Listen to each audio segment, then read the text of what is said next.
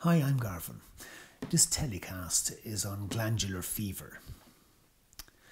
So, the most causes of glandular fever are caused by the Epstein Barr virus. If you come into close contact with infected saliva and you're not immune, which is resistant to glandular fever, the Epstein Barr virus will infect the cells on the lining of your throat. The infection is then passed to nearby white blood cells called B lymphocytes before spreading through the lymphatic system. This is a series of glands that spread throughout your body in a similar way to blood circulation system. The glands produce many of the specialized cells that are needed by your immune system.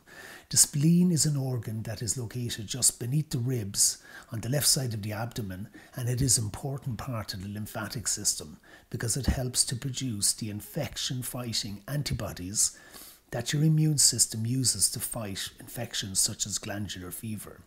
If your spleen is infected, it will become inflamed or swollen. This occurs in around half of all cases of glandular fever. So, how is glandular fever spread? It's mainly spread through saliva. So, kissing, coughing, sneezing, and sharing a glass or cutlery are the easiest ways to catch the virus. It is less easy to catch than the common cold virus.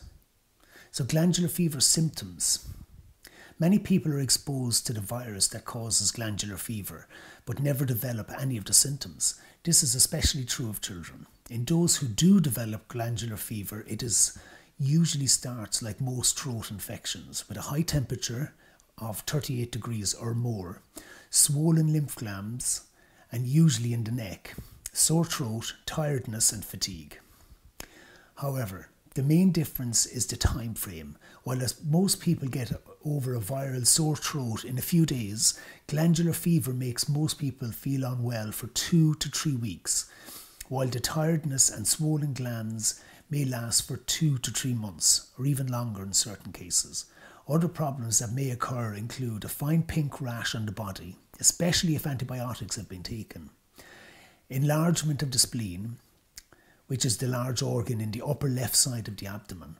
This usually doesn't cause symptoms, although in rare cases the spleen may rupture. A swollen and painful liver, which can lead to the skin becoming yellow through jaundice.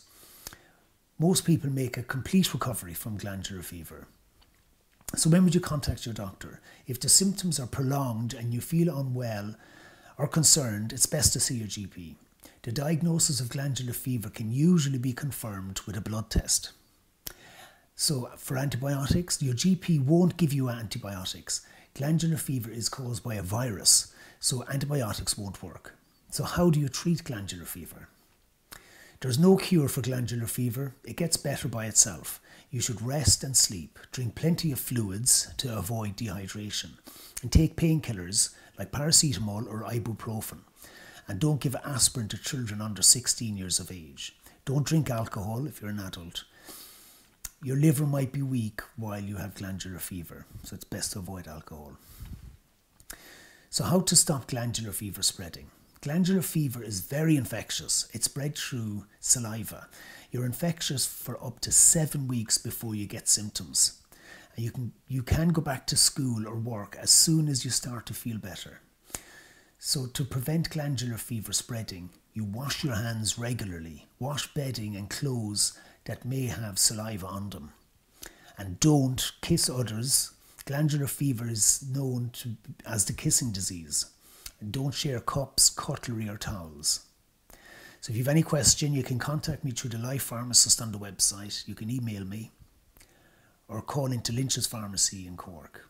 Thank you for watching and have a nice day.